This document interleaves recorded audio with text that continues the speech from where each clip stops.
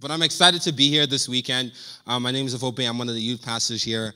Um, so thank you so much for joining us this weekend. Um, we're going to be doing some amazing um, things as we talk about peace. But before we get started, I know what you guys are probably thinking. If you were here last weekend, Pastor Noel had a table full of foods, delicious, luscious fruits and foods and all those different things. And here's a youth pastor, and he brings a can of pop. Okay? Let me tell you something. Okay, I did not use the budgets to buy new shoes, okay? Or a new shirt. The budget, I didn't I don't really have a budget. But I'm going to th- keep things a little bit simple this weekend. That's why I have a little can of pop. It's going to be important, but nothing complicated. I'm not throwing my phone like last sermon that I preached, so I just want to let you guys know that I did not use the church's money to buy my shoes. Anyways, as you can see, you know, I just make $3 when I go to the mall, so you know I'm rich. But this weekend, I'm honored to be talking to you about one of the names of God. And it's interesting because I think we've lost the significance of names in this culture. I mean, we live in a world where people would literally name their kids COVID 19 after a pandemic, okay? That's where we're at, we are right now. But in the Hebrew mind, in, in the scriptures, we see that names is a, it's a significant thing because they believed that names reflected the personality, the character, the heart, the future. It was prophetic, it was important, it was connected to God. So when we think about God and we think about that culture, the ancient Near Eastern culture, if we look at all the gods in the neighboring countries, in Egypt and Syria and Babylon, they had gods, but those gods were arbitrary, they were random. If you wanted to get their attention, you had to slash yourself and do some, some messed up stuff. And even then, you wouldn't even get their attention sometimes, they would just destroy. But in that context, here you have the Hebrew God. You have a God who not only knows people, but he wants to be known. He's a God who desires relationship. And he's reflected and he says this I am your banner. He has these names that give you a window into who he is. There's another name that used, as Pastor Earl talked about last weekend I am your shepherd. He wants to walk with you, he wants to guide you. That's the name of the God we serve. This message this weekend is all about peace. And what does a Christian mean when they say that our Lord is peace? That our Lord is the only source of peace in the world? That's a big statement.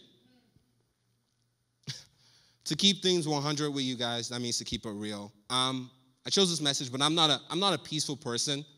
Um, I'm an Arsenal fan, so my life is with a lot of stress. Uh, and you can ask my family, I stress out about things that I can't control. Then I lose track of a lot of things. And, and that causes me to feel, feel even more, more overwhelmed. And instead of flourishing in all these different areas of my life, I live stressfully sometimes. And I've noticed the stress has a, a mental consequence to it, it has emotional consequences to it, it has physiological consequences to it. I mean, prolonged stress, if not handled well, can lead to ineffective relationship, it can have um, impacts on your heart, on your respiratory system. It can have really, really physiological consequences. And I'm not actually alone in this issue of stress. Okay, maybe I'm alone in the whole Arsenal thing and I need to stop watching their games because that's just too much.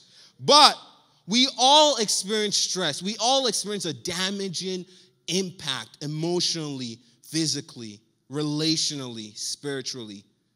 We allow anxiousness and fear to creep up in our lives. And some of us, we've already given up on this idea of living a peaceful lifestyle. We've just said, that's, that's, that's my life. It's stress free. I mean, it's stressful.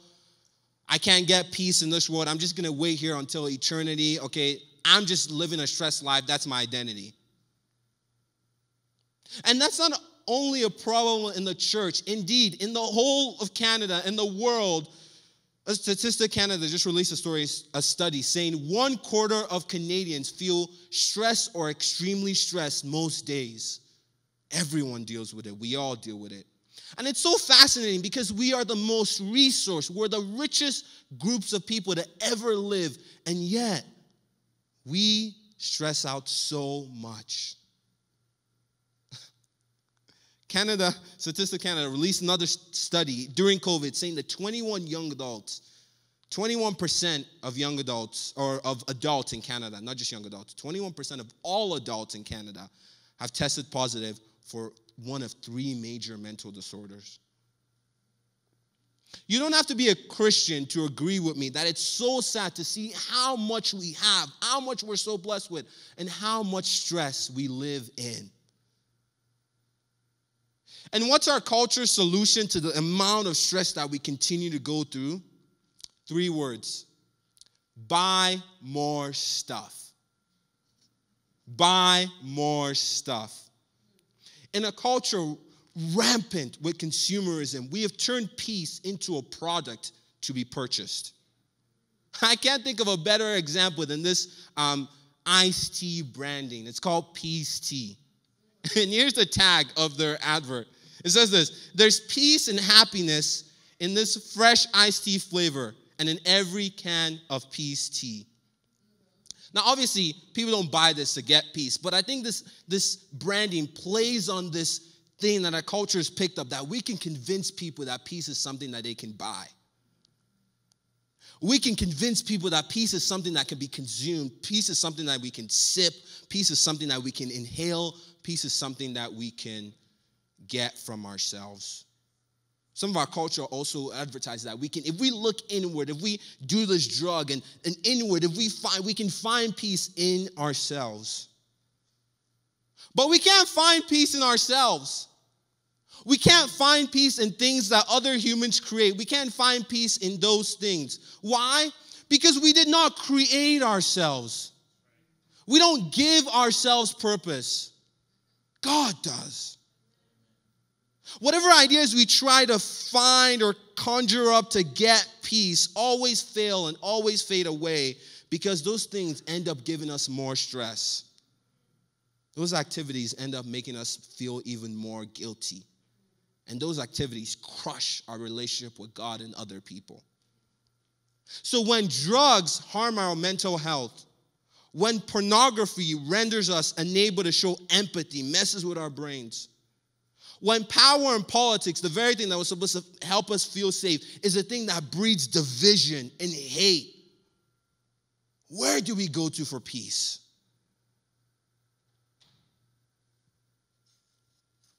Maybe you're a single mom, and with all the responsibilities you have, you can't even think of God or grasp the concept of God as peace. Maybe you're a student and you haven't known peace since AP math or bio. Your studies have been a constant source of stress. Maybe you're sitting here if you'd accepted the lie that my family, they just have a history of mental health disorders, they just have a history of all this stuff. And stress and anxiety and fear is just our identity as a family. We can't get past this. And you've accepted that as a part of who you are. God has so much to say to you about peace in His Word, and we can discover what He teaches. If you guys want to turn to Judges chapter 6, we're going to pick it up from there. But as you guys find your way in Judges chapter 6, uh, I'm going to talk about a few ideas you need to know before we understand this text. If you search up peace on Google, the English definition is this you're going to get freedom from disturbance, tranquility, maybe a vacation. And earlier, I talked about how people nowadays, we've turned peace into a product to be purchased.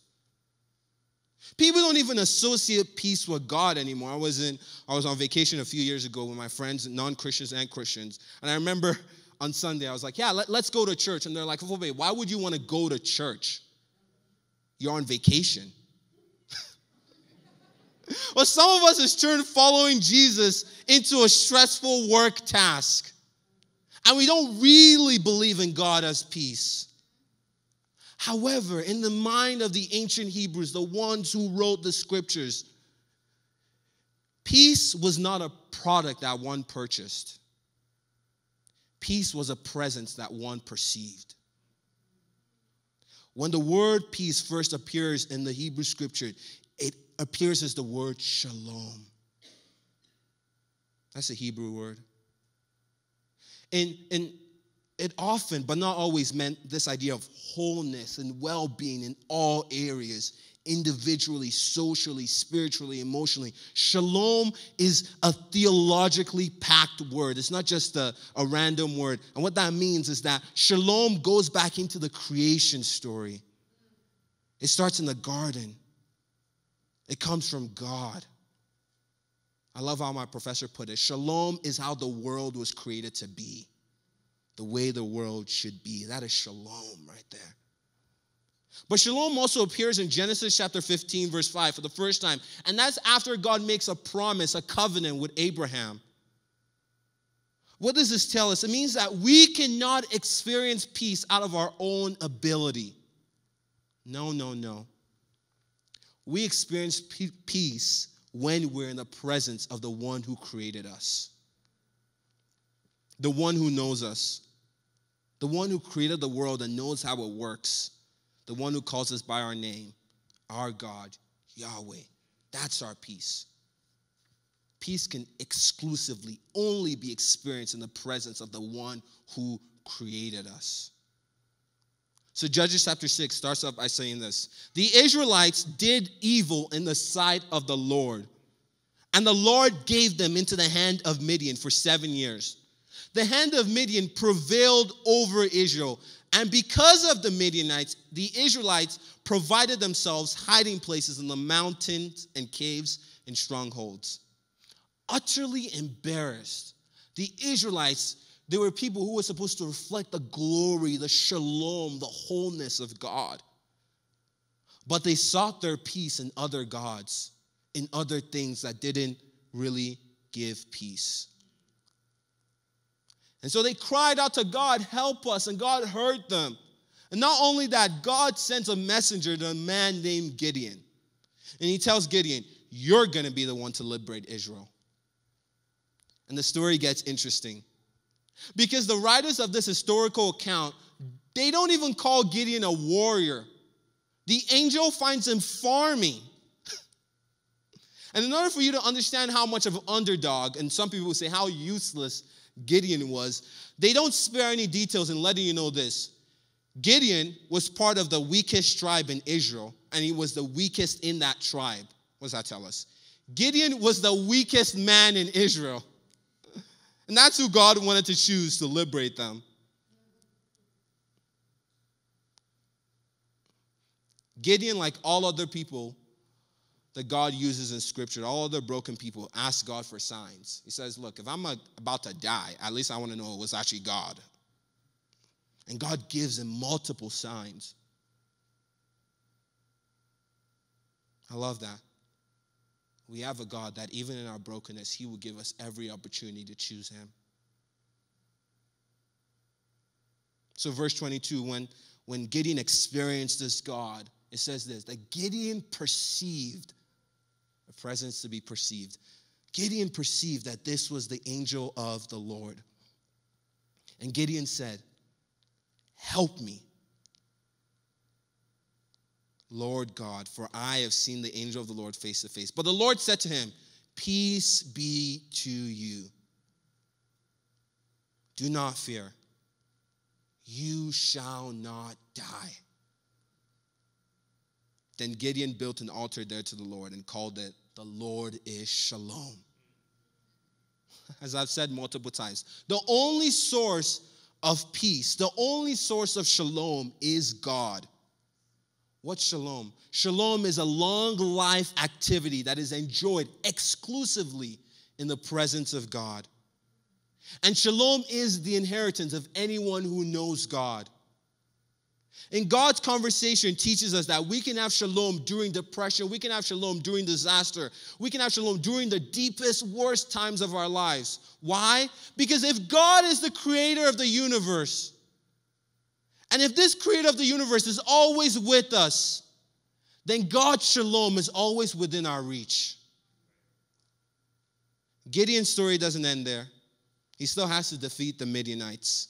So, to make sure that Gideon and God's people will remember this for the rest of their lives, to make sure that they remember the time when God came to humanity as shalom, God sends Gideon, a farmer, into battle. and he sends him not with 22,000 men. Originally, Gideon had 22,000 men, and they were already, already at a disadvantage because remember, they're still being oppressed with 22,000 men. But just to understand how much of a statistical disadvantage they were, God says, No, take 300 men. Gideon's like, Okay. And with God's help, they overcame their oppressors, the Midianites, because God was with them. God was their peace. As Christians, we don't walk, we don't work from a loss. We always work from a win. Because God has already won. And here's what you need to know. Here's what Gideon's story teaches me, and I hope that you get this. God, the giver of peace, does not need a statistical advantage to win. He's already won. He always gets a W. We don't go into peace feeling, oh, I hope God wins. We work out of a win. That's why we overcome, because God already overcame. Some of you might identify with Gideon. Maybe you're facing stress from an internal kind of thing. You'd feel less. Or maybe an outward situation, an outward person is oppressing you. God's shalom is within your reach today. Some of you may have done some awful things, and those evil things have contributed to your stress. They've perpetuated more anxiousness and, and fear, leaving you feeling useless like Gideon was. What's the good news for you today? God is always giving you the option to choose His shalom. Your past does not discredit you from shalom, from Him. And even non Christians are picking up on this idea of finding shalom in God's presence. The American Heart Association have a study that says that spending time in nature can help relieve stress, improve your mood, and well being. These are non Christians. And one researcher even writes this he says this Human beings still have a deep connection with nature, and research shows that if we don't nourish this bond, Despite our technological advancements, we may suffer in many ways. I believe what they're calling this deep connection in nature, this bond, is actually God's shalom, the way the world should be. Atheists or not, humans cannot deny that there's a sense of something bigger when they're in nature, when they're in the forest, when they're with animals sometimes. I think it's because our beautiful, big, vast world screams of a creator. And isn't it crazy? Even after we, we dismiss God sometimes, that creator is screaming at us saying, I want you closer. And even non Christians, they can experience a little bit of the shalom. That's the God we serve. So science affirms scripture, and both are telling us that humans feel a sense of release and a sense of purpose, even if it's just for a tiny second when they are in God's creation. And when they're in God's creation, they experience God's presence. When humans, when we are in a shalom, we can find physical, we can find mental, we can find emotional liberation. Do you believe that?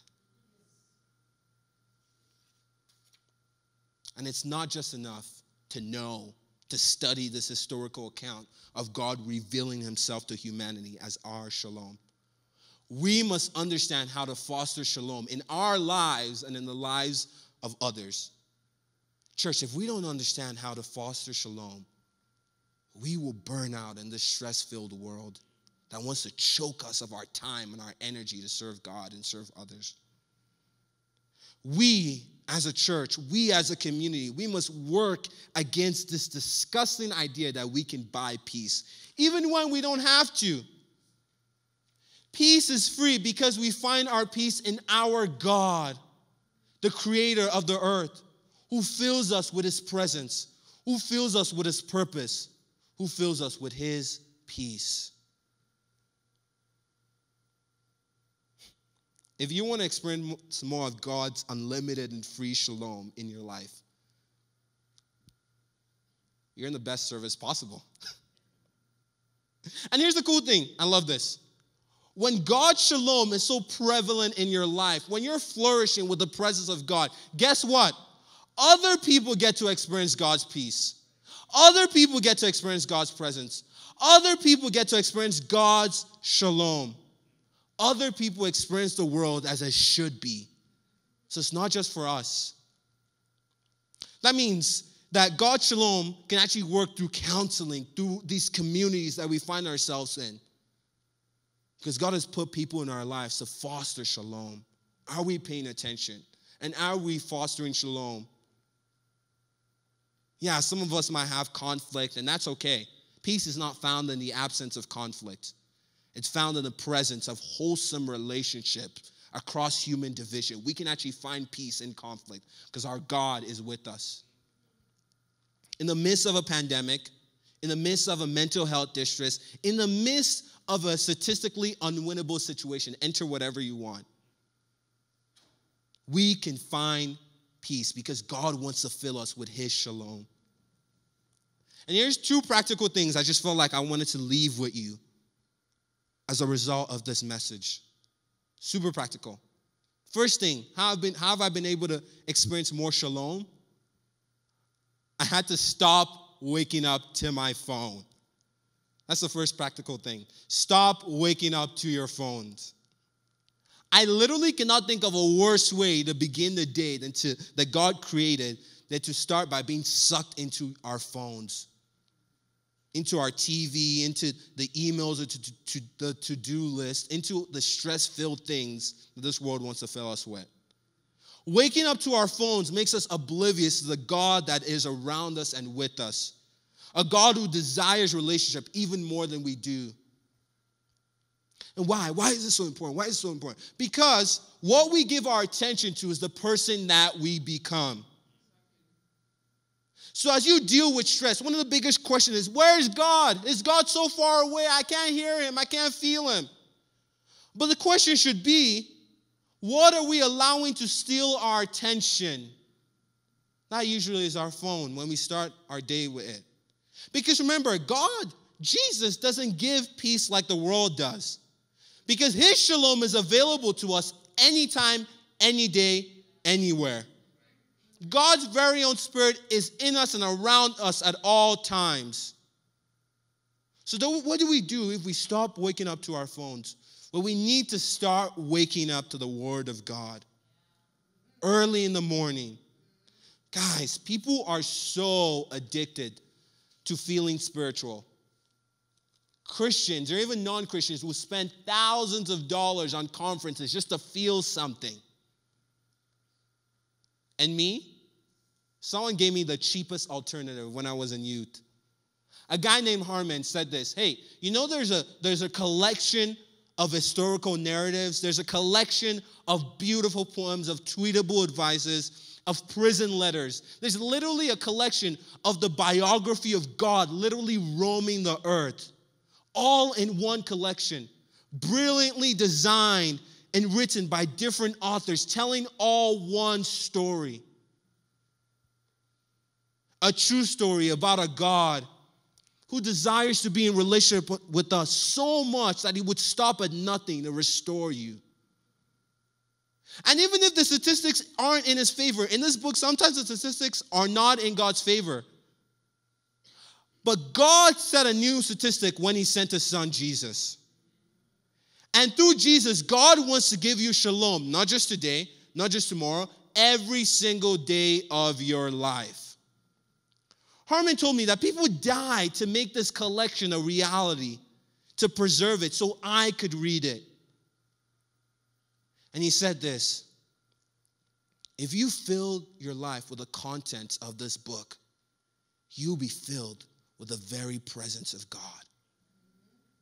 And you'll be able to take that presence wherever you go. Best deal of my life. I got this Bible for free. I have to pay for thousands of dollars for conferences. Spent it on shoes instead. Just kidding. Just these two things stopping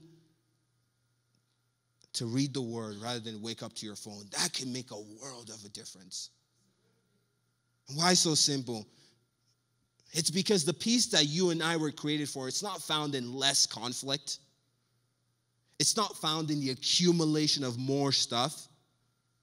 It's found in the presence of God.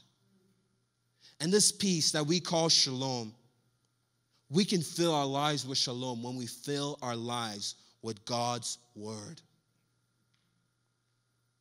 Shalom for me is Saturday morning, I got tea, open up the Bible.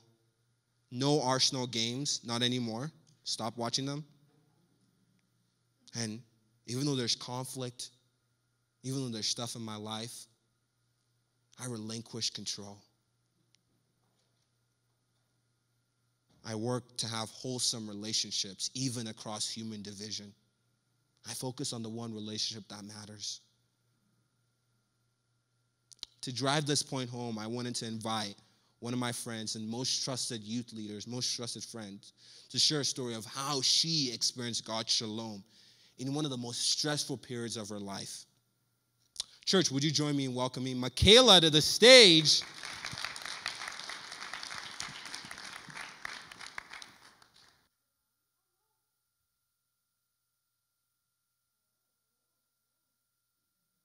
Hello. Oh, there we go. Hi, everyone. Um, as Afope said, my name is Michaela. I will say my new last name once because it is quite a mouthful, and you can ask me about it later if you have questions. Uh, so my full name is Michaela Lichasherstova. Um, yeah, it's quite a mouthful, hey? I have been a youth leader here uh, at BP Church for the last, oh, it'll be my eighth year this fall. I have also been part of our young adults leadership team here at the church, and you may have recognized me from playing keys on weekend worship sometimes. Uh, but outside of church, I am a registered nurse. I work at a post surgical unit at Rocky View. And I also recently just celebrated one year of marriage to my husband Bogdan, which is amazing because love is great. And weddings are awesome. when Afope asked me to share about peace, I kind of laughed at him at first, I'm not going to lie, because I am no stranger to stress. I, uh, my personality, I love to overthink things and I love to have a, a little bit of control over things of my life. And I spent four years in nursing school, so that should tell you what I know about stress. Uh, but God has really done a big work in me over this last year to help me really understand what it means to have peace in stressful situations. So, I'm going to invite you guys to take a journey with me back to March of 2020. Now, I don't have to go into much detail to explain what we all felt last March of 2020 when the world suddenly flipped upside down. We were in the midst of a global pandemic. Everything that we knew that was normal became abnormal. Everything that was predictable in our life suddenly became unpredictable. And there was a lot of fear and anxiety surrounding every aspect of our lives. This period of my life, I work in healthcare. And I was also eight months deep in planning my wedding. Man, what a time. A little bit about me when I was younger. You could find me Saturday mornings watching reruns of Say Yes to the Dress and Four Weddings because I love love. And so when I finally got my opportunity to have my wedding and plan it, I seized it. And in March, I felt myself suddenly having that ripped from underneath me. And I remember being incredibly hurt and incredibly frustrated and asking God, why are you doing this? What is going on, God? Like, why? Why, why would you have me plan my wedding in this time? You know how much I love this. You know how much I've been looking forward to this day. Why would you do this? And a little bit of backstory about me and my husband. Um, our lives are a lot, uh, are so much different, or so much more than just a unity between me and him. Uh, his parents actually moved his family from the Ukraine about 10 years ago when they fled the civil war uh, to give their kids an opportunity at a new life. And so our marriage wasn't just a, a bond between me and him, it was actually a, a uniting of two very vastly different cultures in two vastly different countries. And so I was very excited to be welcoming his family uh, to Canada to celebrate our wedding. My family is predominantly from Southern Ontario, so a lot of them couldn't come. And my closest brother, um, well, the other two are not going to like that statement, but that's okay. Um, lives in Australia, and he actually couldn't be able. He wasn't able to be there for that day either. And so I was just caught in this whirlwind of like, God, I thought that this this is what you wanted. Like I believe and in our word and in, a Christian in our Bibles, marriage is this covenant, this very sacred covenant that you make between, you know, you, your spouse, and God. And so I remember sitting there in March and in the early stages of April being like, God, I know that this is yours. I know that this is yours, so why is this happening? And I kind of just laid it all on the line for him and I said, okay, God, like, I believe that this is yours. I believe that my marriage belongs to you. I believe that this covenant is so sacred that you have big plans for it. And so I'm going to relinquish all of my control over this day and how this will look to you. And I will trust that whatever happens going forward, it's going to be for your glory. And that was a big step for me because I really like having control on things. But God really worked through me during those months. And, church, I really wish I could tell you that the situation around me got better after I made that decision, but I can assure you it got worse. A heck of a lot worse. Because during those months, not only did I have to replan my entire wedding, but a lot of fighting broke out between my family because everyone was coping with COVID differently. I had lots of arguments with friends, and a lot of people weren't able to come businesses that we were in partnership with ended up going out of business. It literally felt like every single thing going forward just didn't work in my favor. And I had this incredible confidence through it all that it didn't matter because that day was God's and He was going to get me through. And I think that sometimes when we step into the presence of God and we step into what He's asked for us, Satan loves to come and weasel his way in there and try to make you doubt that you made the right decision to follow God. And so he starts to twist things, he starts to turn things, and he starts to get his feet into situations because he wants to, with all of his might, to turn you away from walking into the, into the steps of God and what he has for you. And that happened right up until the very last week of my wedding when the weather uh, suddenly went from a 25 beautiful sunny weekend to pouring rain and thunderstorms. And my wedding was outdoors in BC. And I remember my parents actually crying the week before my wedding to me, saying, "Oh, Michaela, you gave up so much. You know, we just we just wished for a, a sunny day. Like that's the least we could do." But let me tell you, I have never been more thankful for rain. Because on the day of my wedding came, sure enough, it was pouring rain. And when I mean pouring, I mean like monsoon, wind blowing sideways. You couldn't see the across the lake. Fog had come in, thunderstorming wedding day. It was cold. It was ugly. And I remember I was getting ready, and some of my friends would like try to shield me from the windows outside to like somehow save me or protect me from what was going on.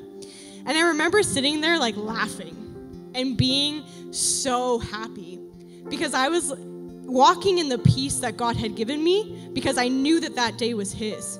And so I actually remember at one point I started laughing and I said, Satan, is this, is this the best that you can do? Like, is this all you have for me? Like, what else you got?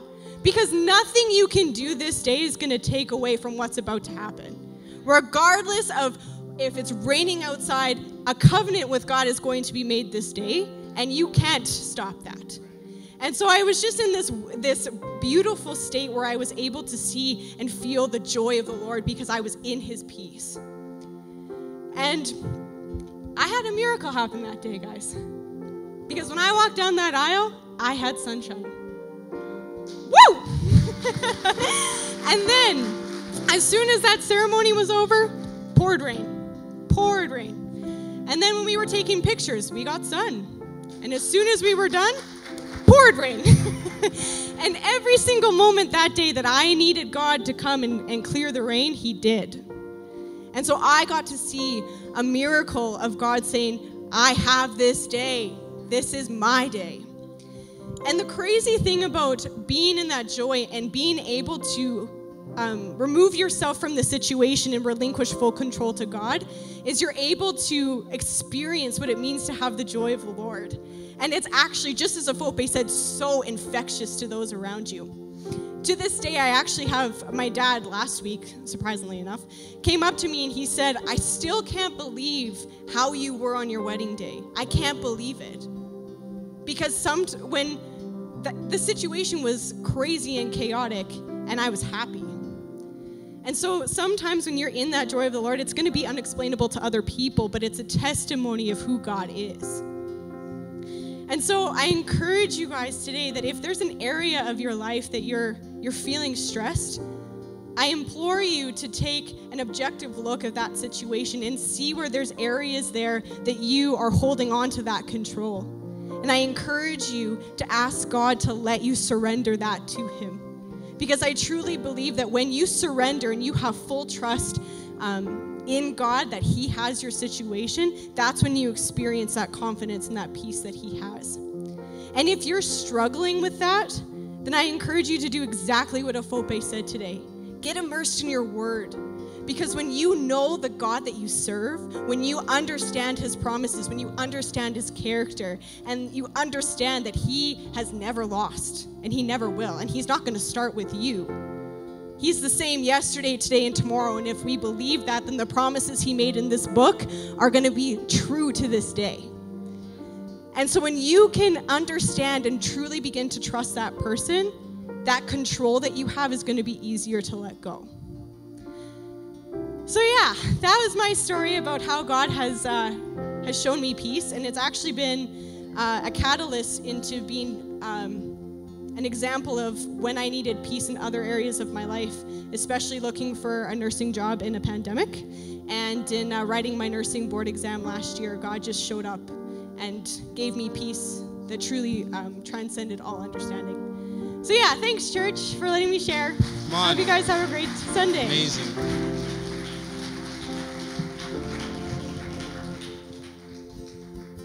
Great story. God's peace is available for you this weekend. God's shalom is within your reach. We're going to go into a song um, in, a, in a few moments, but I just want to give you a chance to respond. And if you're like, I did not know that God was this way, I did not know that Jesus was this way.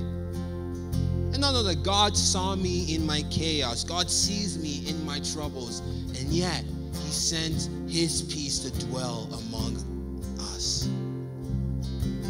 God sent His peace so you and I can be restored into a relationship with God.